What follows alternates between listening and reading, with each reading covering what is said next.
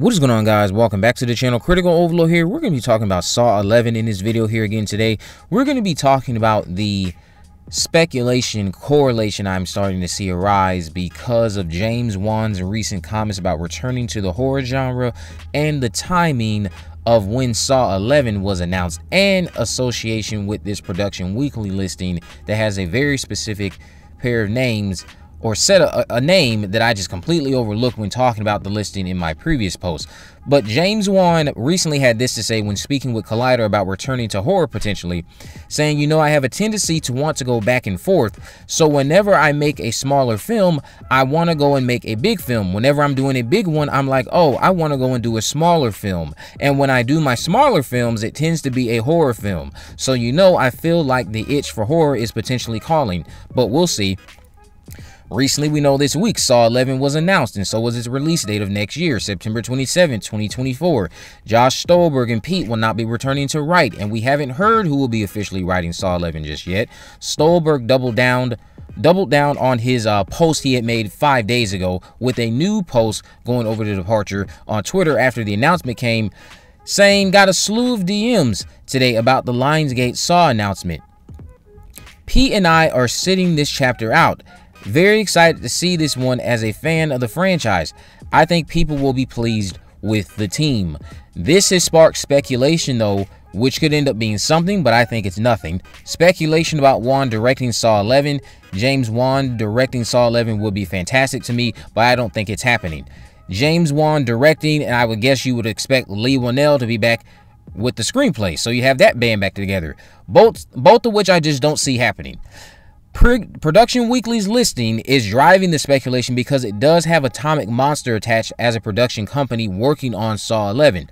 But reliable Reddit user Vink360 did remind us of this occurring in the past with Saw X as well.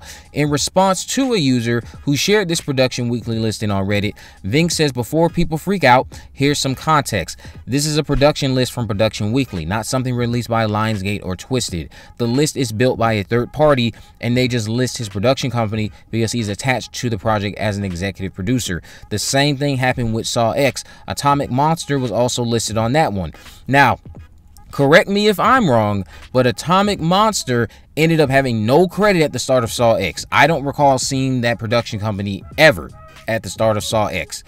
In other words, he says, don't read into this as anything unusual. So Saw 11 is also listed to be in Toronto, so we'll wait and see how true that is. I did say in my last video that Vink was also the user who had dropped who had who had the drop on Saw X being John Kramer centric and being set between 1 and 3. So they have a reputation over there with their credibility. They had also shared that a TV show was allegedly being worked on with a writer's room being formed. With Josh and Pete gone, the only three writers I can safe, safely predict for now, though, in terms of what I can see happening with Saw 11 would be Kevin Greutert, Patrick Melton, and Marcus Dunstan. James Wan's involvement as of now seems to just be more of the same, an executive producer role. As for Stolberg's comments about people being pleased with the team, I mean, who is responsible for Saw 6, which seems to be one of the most beloved entries? Patrick, Marcus, and Kevin. And again, if I'm wrong on that, correct me, but I believe those three were the ones responsible. Patrick and Marcus wrote, Kevin directed. This is also what happened why people were so excited about him directing Saw X because of the the love that Saw 6 has. So are they the team that's getting back together? Not James Wan and Leigh Whannell, but the Saw 6 creative team with Kevin, Patrick, and Marcus. Time will tell. I'm pretty sure, pretty sure and confident that it will be them. If it's newcomers, then it's just newcomers. If it's James Wan, then it's James Wan. But the timing of it all is reasonable to see why some people think it is going to be James Wan. I don't think it is because I do also want to again highlight he was talking about a potential return to the friend or to the genre.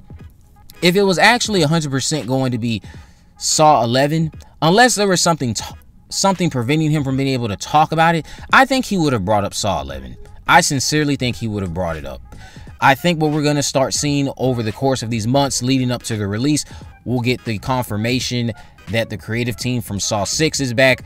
We'll get the confirmation, obviously, that one third of them, Kevin Greutert, is back directing, and we'll get the confirmation of Shawnee Smith, Tobin Bell, you know, the whole the whole shebang of what it would take to get everybody back in the seats to, for Saw 11 after the success that was Saw X.